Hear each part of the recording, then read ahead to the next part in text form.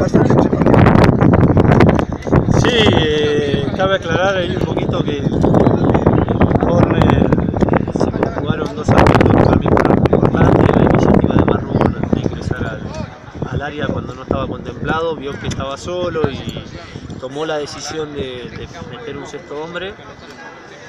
Y después eh, la ejecución de Quintero, que también es muy importante. Entonces, me parece que eh, hubo mucha iniciativa de los jugadores, más allá de que estamos trabajando en ese aspecto para poder eh, eh, en determinado momento del partido que sea una solución y no un problema, ¿no? o algo que pase desapercibido. El otro día lo fue, pero partiendo de la base de la iniciativa de estos dos eh, jugadores. Bueno, profe, podemos ver por el partido anterior al menos que con el esquema 4-2-2 de pronto se complementan mejor los jugadores y se potencian mejor los elementos que tiene. ¿Usted lo ve así? Podemos esperar que este sea el esquema que nos indique el básico del Independiente Medellín para afrontar lo que resta.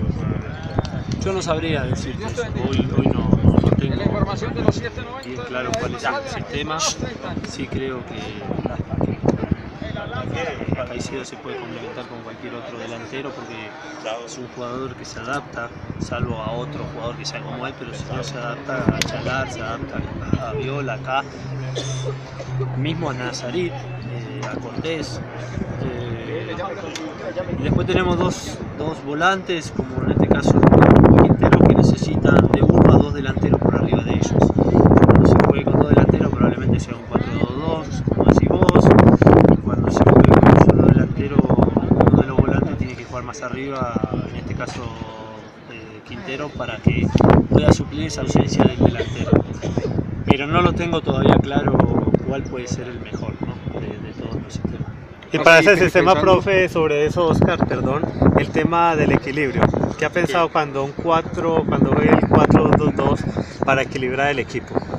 No, es, es que también un poco después cuando se empieza a circular la pelota, es, es, como que se desarma el, dibujo que uno quiera poner, ya sea el que dicen ustedes, 4-2-2 o el 4-3-1-2 o, o cualquiera.